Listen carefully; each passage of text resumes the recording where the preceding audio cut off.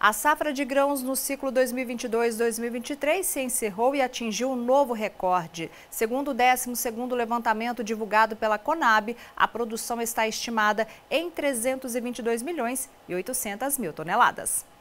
Com o fim da safra de grãos no ciclo 2022-2023, a Companhia Nacional de Abastecimento divulgou seu último levantamento. A produção foi estimada em 322 milhões e 800 mil toneladas. O volume representa um crescimento de 18,4%, o que corresponde a 50 milhões e 100 mil toneladas colhidas a mais em relação à temporada anterior. Ainda segundo a Conab, a safra brasileira teve a maior área plantada, além de melhor produtividade média registrada. A soja apresentou recuperação de produtividade no Mato Grosso do Sul, Paraná e Santa Catarina. Já no Rio Grande do Sul, o clima não foi tão favorável ao desenvolvimento das lavouras.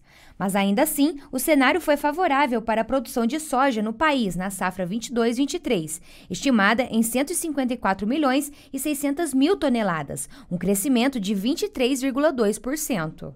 Segundo o boletim da Conab, para o milho também é esperada a maior colheita já registrada na série histórica. No somatório das três safras do cereal, a produção deverá chegar a 131 milhões e 900 mil toneladas, incremento de mais de 18 milhões de toneladas em relação ao ciclo anterior. O arroz apresentou uma queda na produção de 6,9%, chegando a 10 milhões de toneladas. O motivo da queda foi pela menor área de plantio. Já para o feijão, a colheita total foi de pouco mais de 3 milhões de toneladas, valor 1,7% acima do resultado da safra anterior. Dentre as culturas de inverno, houve crescimento de 11,8% na área cultivada de trigo no país, com produção estimada em 10 milhões e 820 mil toneladas, 2,5% acima da safra anterior. Os bons resultados da safra brasileira colocam o Brasil como o principal exportador de soja e milho na safra 2022-23.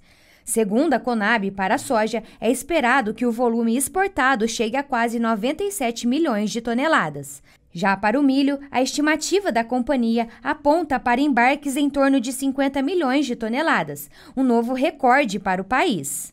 De acordo com o Departamento de Agricultura dos Estados Unidos, o Brasil ultrapassou o país norte-americano e se tornou o maior exportador de milho no mundo nessa temporada. A última vez que o Brasil tinha conquistado essa posição foi em 2013, quando os Estados Unidos enfrentaram uma forte seca. O bom cenário para as vendas ao mercado internacional é verificado também para o farelo de soja, com exportações estimadas em 21 milhões e 820 mil toneladas, e o óleo de soja, com 2 milhões e 600 mil toneladas. Segundo os dados da Conab, o algodão também segue com boa fase no Brasil.